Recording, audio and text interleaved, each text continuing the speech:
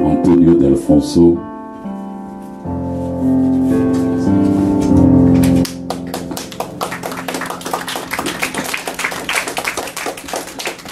Est déjà juste là et je même pas son CV là c'était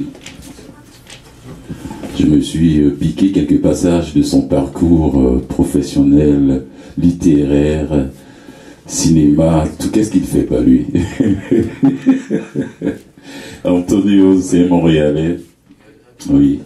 Il est poète critique, littéraire, cinéaste indépendant. Il fait tout. Je ne sais même pas combien de livres qu'il a écrit, plus d'une trentaine de livres qu'il a sortis, écrits, édités. Voici tellement. Merci d'être là. Mesdames et messieurs, je vous demande d'applaudir, d'accueillir chaleureusement Antonio D'Alfonso. Merci d'être là, merci Fulgence. Donc, Fulgence, c'est la poésie.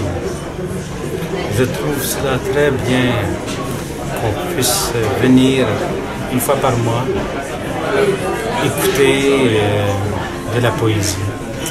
Et je suis très content que ça se fasse ici, à sur la rue Saint-Hubert. Je trouve que ah, c'est ma jeunesse, je passe ma jeunesse ici. Donc je suis très content que Fulgence soit revenu ici. Soit ici. Euh, c'est rare, c'est rare. Et tout se fait avec amour et gentillesse. Merci beaucoup. Donc un poème euh, touristique. Hollywood, Florida. Et les pieds ne touchent plus le fond. Dépassé le milieu de ma vie, moi qui voulais être blond, me voici plus blanc que gris, plus gros que fin. Ma fille plus femme cadeau, ma copine plus pâte que le vin. Le soleil de rouge perce des trous partout dans notre peau. Presque midi et l'Atlantique roule sur le dos en repos. Il y a longtemps, une dame me plantant une épingle dans le ventre, et depuis, toute la famille sait que je suis un mauvais sort. La lune est ronde et blanche, et le ciel est plus lent et bleu. Un roquet se cogne contre nos pieds, plus noir que de la lave. Qui aurait cru que l'inspiration dépendrait de nos chaînes? Tiens, ça siffle dans mon oreille gauche, quelqu'un parle de moi, en bien. Le bonheur s'étend sur le sable en feu et regarde une belle qui s'affiche dans toute sa splendeur à ceux qui de balle n'ont plus que deux yeux pour les poissons en voie d'extinction. Rire, cris, s'affolant au bout des doigts de jeunes cubains expatriés. expatriés. Surtout pas de politique en ce jour férié. Un garçon à la caméra, lui, prend une photo de la bronzée qui raconte comment elle voit flotter vers ses orteils un suicidé.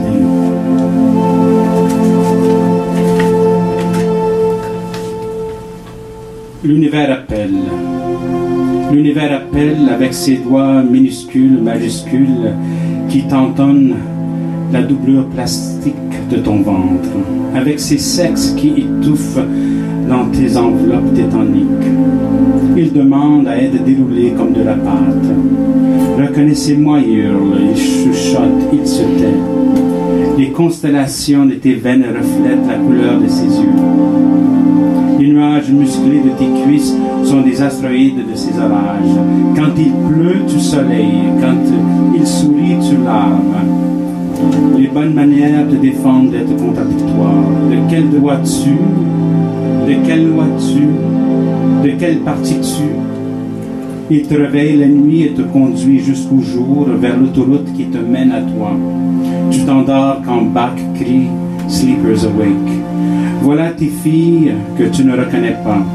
Voici tes filles qui ne te reconnaissent pas. Ils cognent, mais tu ne connais pas sa langue. Il y a des sous-titres partout, mais tu ne sais plus lire.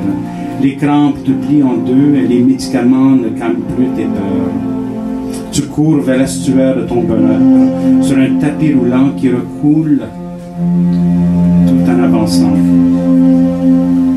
Tu es dans l'estuaire de ton bonheur que tu prends à tort pour un arrache-cœur. L'univers appelle et tu n'entends plus rien. L'univers appelle et tu n'entends plus rien. Merci.